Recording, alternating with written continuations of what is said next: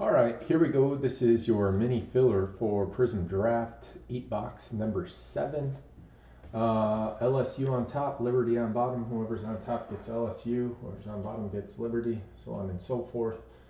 Uh, let's see, who's in this one? That's important. A lot of DNH Martin. All right, so here's everybody in it.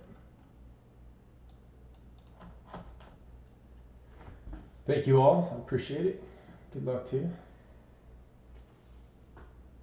So how many times we'll hit the randomizer?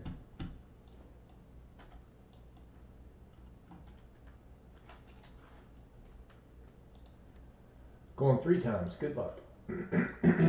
One, two, and three. DNH Martin and Shooter on bottom.